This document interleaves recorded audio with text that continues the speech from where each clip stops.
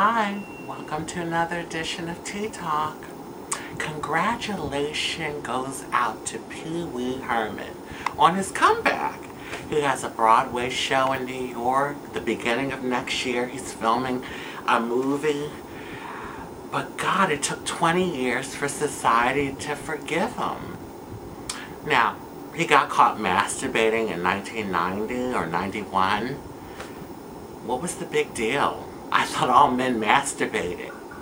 Well, it was in a pornographic movie theater. And at that time, he happened to be one of the biggest stars for children in the world. But I just can't believe it took 20 years. I mean, there's other scandals that have taken less time to get over, uh, like Hugh Grant. We forgave him pretty quickly. And then there's Eddie Murphy. You know, he, he got caught with the transsexual prostitute.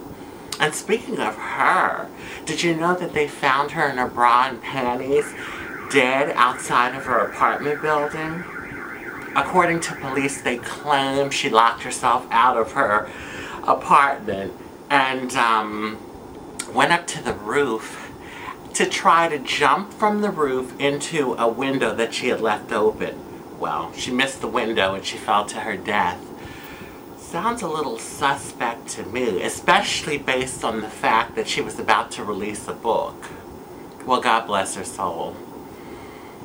I don't know why or the reason or what determines who gets forgiven and who doesn't and who we take 20 years to forgive.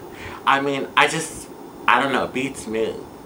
But you have Winona Ryder, God, she just, she just shoplifted.